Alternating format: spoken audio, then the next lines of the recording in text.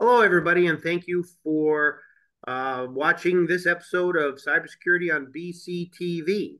I'm Eric Roebuck. I am a cybersecurity expert. I own the Valander Group, a Berks County based cybersecurity firm. I just want you to remember that this should no way be construed as legal advice in any way. I'd like to um, I'd like to welcome our guest Sean Latta from Nuclei Data. Welcome, Sean. Thanks, Eric. Thanks for having me today. Of course, I'd like you to uh, take a couple seconds and tell us what you do. Absolutely. So, hello, everyone. My name is Sean Latta, uh, one of the partners here at Nuclei Data. We specialize in custom software applications for small to medium sized businesses. We also assist um, those same companies with integrations of existing technologies. Uh, we have we'll um, towards the beginning of this year, um, moving into 2025, we'll also be building local data centers inside of the Reading area to support the technology growth inside of uh, Reading. Could you tell us what a data center is? Yeah, absolutely. So when people mention the cloud, that's what data centers are. So the cloud is just offsite computers that are running those applications. So Amazon Web Services, Microsoft Azure, all of those cloud providers are just data centers in different locations within the country that house and store your data. So you're going to be a local uh, AWS or a local Azure, allowing people to put their data locally rather than in China or Japan or Northern Virginia. Absolutely. So when we're storing your data, you're going to be able to walk up to the server specifically storing your data. Um, so it's really going to be a local solution for the area, um, northeastern United States, and so forth. So it's going to be really nice to keep that data, you know, close to home um, in terms of not only latency or speed in which we can access that data, but also to have the the um, peace of mind that that data is going to be right here um, close to home. Oh, that's that's that's wonderful. So since this is a cybersecurity show, I'm sure as you're building this new data center, cybersecurity is at the front of your mind, especially since you're housing other people's data. Housing other people's data is certainly a sacred trust. Could you tell us some of the concerns you have from a cybersecurity standpoint while you're building this? Yeah, absolutely. So, as you know, Eric, um, in today's world, cybersecurity just becomes more and more of a risk uh, every day um, with the implementation of these AI machines and things of that nature. These these black hat actors or you know people that want to do bad things with our information they're starting to use you know more sophisticated ways of getting to our information so as we go to build these data center providers you know becoming the local data center provider we're going to work diligently with people like you eric um, to, to ensure that the data um, that we're housing is safe for our clients and you know whoever's because peace of mind is really what we're all looking for when we're in terms of the technology we're using these days. So um, let me delve in a little bit to something you said. So when you you talk about um, people have choices right? So a company in berks county has a choice to be on prem or in the cloud. When somebody says on prem what they're saying is they're going to house their data and their applications on premises. They're going to keep everything inside of their building as mm-hmm. opposed to giving it to you. Well, there's pluses and minuses to that. You had mentioned black hat actors. So the, the pluses and minuses are one of the pluses and minuses are if you are going to house it internally, you're going to have to employ cybersecurity experts to keep it safe. You're going to have to employ uh, network experts, application experts, and that's very expensive. Cybersecurity folks are very hard to find, especially the white hat side, right? You mentioned black hat. There's black hat and white hat. The white hat, of course, is the good guys. The black hats are the bad guys. White hat folks are very hard to find, as are very skilled networking folks. I would assume that one of the one of the um, advantages you bring is you bring that skill set with you. So instead of staying on prem and having to hire all these people and put them on your payroll, you just put the data with you, and that cost is spread out uh, uh, across maybe 40 or 50 different customers. Is that correct? Yeah, absolutely. Um, it's so we, what we consider it as a managed service. So as opposed to a local installation inside of your business or inside of your home, you're in charge of managing the hardware, the software updates, making sure that the server's running at optimal capacity. With Nuclei, we're going to make sure that all of those things are happening for you. So we're going to make sure all the software updates are happening, the hardware is running correctly. It's the there's redundancies in place in case we have a bad snowstorm like we did earlier this week. Um, we'll have those power and cooling requirements um, to make sure that those uh, machines are running at all times.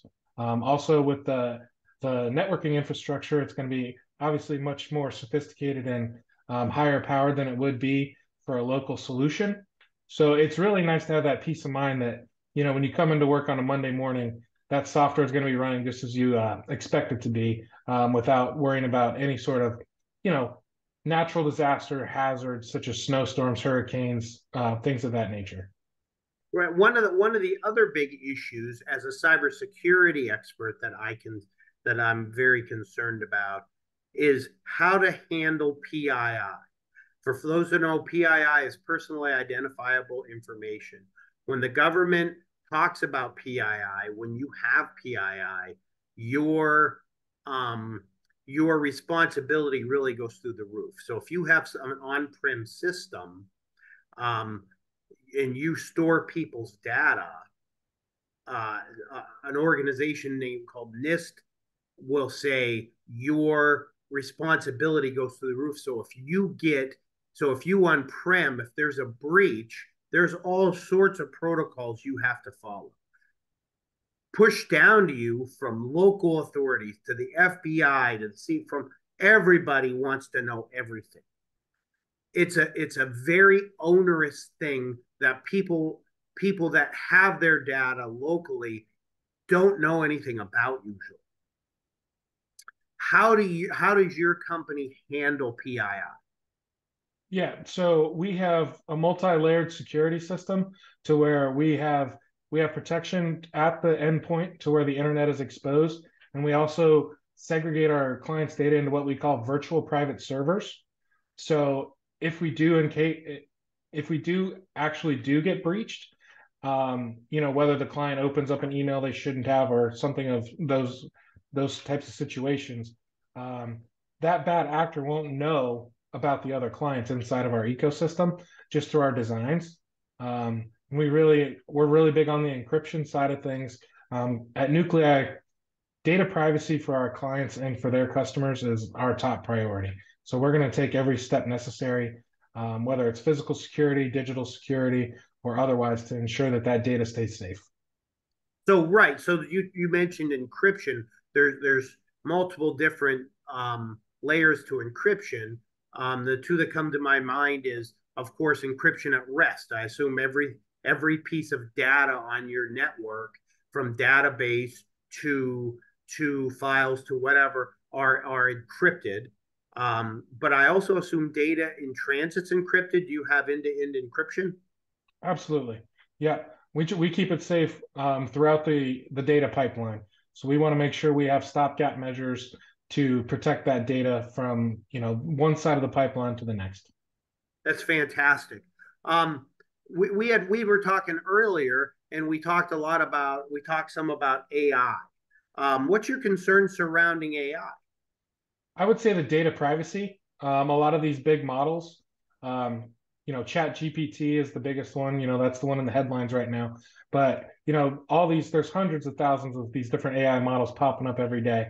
Um, I would highly suggest everyone reads those data policies um, from top to bottom, whether it's Microsoft Copilot, OpenAI, Bard, um, any of those models, because I always um, like to tell every one of my clients, please do not put anything that's um, sensitive information into those models because they are training those large language models off of any data that you push through them.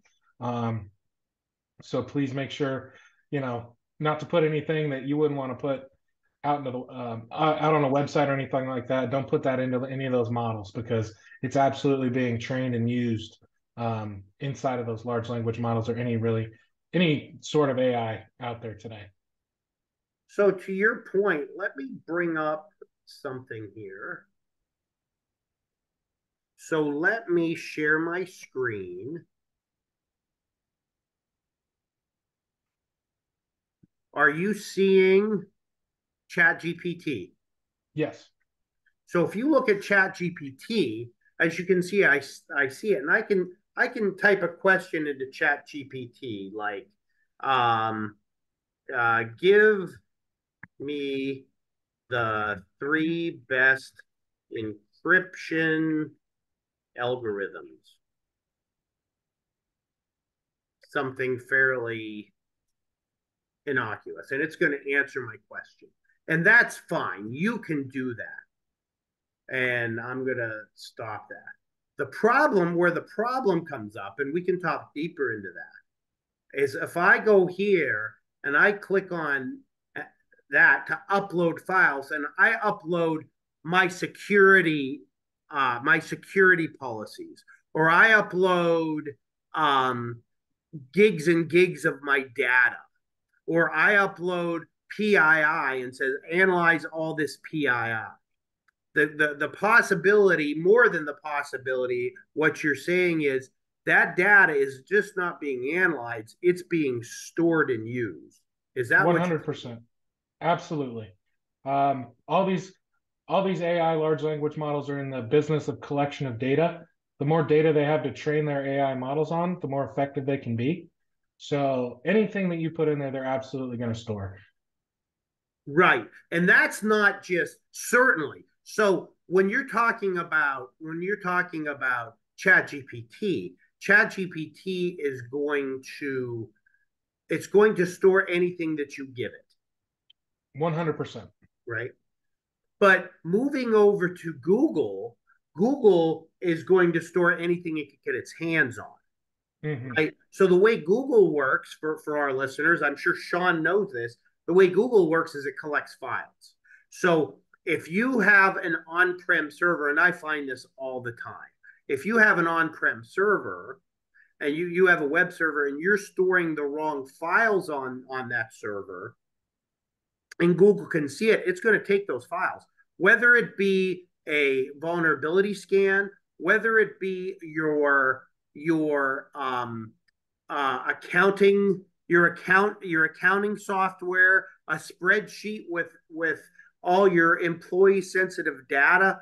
You have to be very very very careful where you store where you store your files and your data because Google's always pinging everything that it can see that's another enormous advantage of going with a place like nuclei because people don't know what they don't know. Do you agree mm-hmm. with that? Yeah, absolutely. Um, it's just become such commonplace to use these big technology companies, Google's, the Microsofts, the Amazons of the world, that it's just become commonplace. But if you really dig into those data privacy policies, they're absolutely your data is not your data anymore. And so at Nuclei, we want to make sure anybody any data that you want to store is truly your data and no one else's.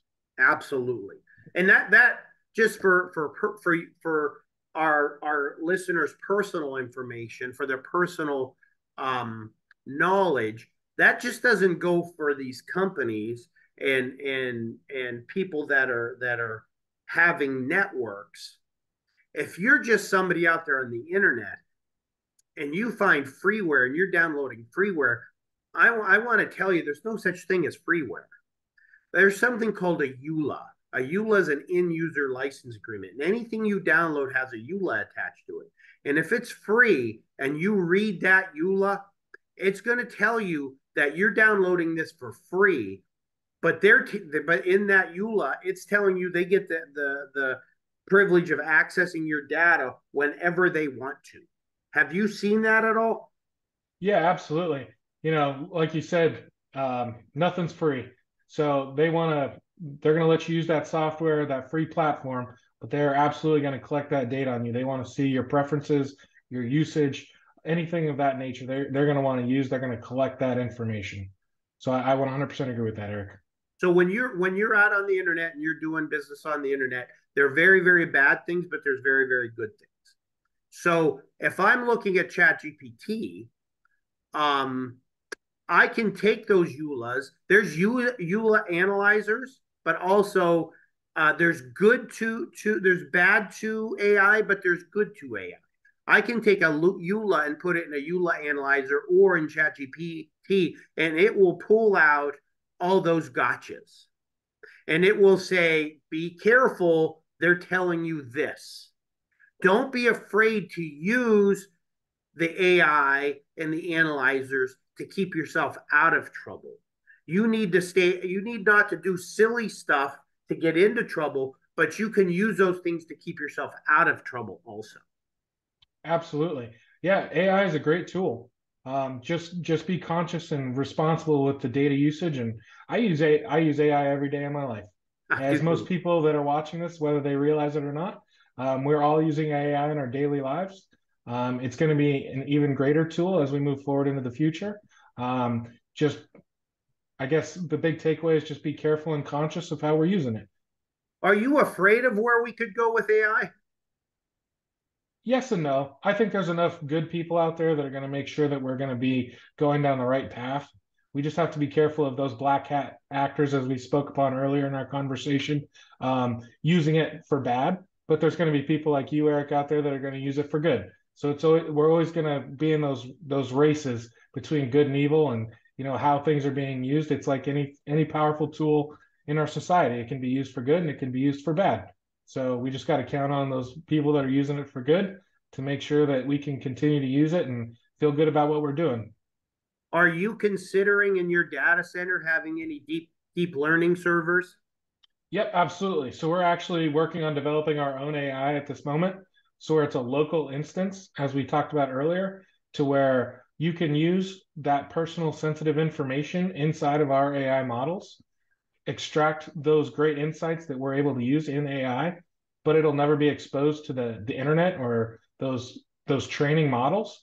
So it's going to be the best of both worlds, um, to where you can leverage those AI capabilities without having the worry of losing that data or having data leakage into the into those larger language models. So here's my question, and I hope this isn't a silly question. What does it mean that we're going to have our own AI? Yeah, so it's going to be built specifically for your company. We're going to be able to train it around your data. We're going to be able to put what we call context into those AI models. So we can build custom contexts for when we ask those AI models questions. So it's going to be tailored to your business or tailored to your use case. Um, you know, as you use those generic models, you can build your own context, but it takes a while you know, talking through different prompts to those AIs. But what we're proposing, we're, we will do is we're going to pre-bake in those contexts into those private AI models, so you can just ask away, and it's already familiar with your business, familiar with um, the use case you want to use with those AIs um, for more efficient use um, and better answers. Wonderful. So, Sean, let me ask you this: If somebody's listening and they say, well, heck, if nuclei is local and I want to use them, how do I go about doing it? Yeah, absolutely. Um, anybody that's listening and would love to have a conversation, you can reach out to me directly. Um, you can reach us at AI at nuclei data, N U C L E I data.com is a great email address that you can reach us at. Um, and I'd love to answer any questions, any, you know, whether it's just curiosities or anything like that. I'd be more than happy to help point um, some curious um, listeners in the right direction on their AI journeys. Good, perfect. Um, is there anything else you'd like to say about nuclei or about cybersecurity, since that's what this show's about, or anything else, the weather, anything else you'd like to talk about? No, this was great. Uh, thanks for having me on for the conversation, Eric. And um, yeah, anybody listening and they have any questions specifically regarding cybersecurity, go ahead and reach out to Eric. Um, he's one of the best in the area, so he'll definitely be able to help you with any of your cybersecurity needs. Um, if there's anything software related or AI, please give us a shout. And um, yeah, thanks for having me. And this was a great time. Looking forward to the next time. Wonderful. And if you have any cybersecurity questions, give me uh give me an email at Eric E R I C at valandergroup.com. V A L A N D E R.com. Sean, thank you for being on the show today. Uh, I loved having you. Yep. Thanks, Eric. You have a great day. You too. Bye bye.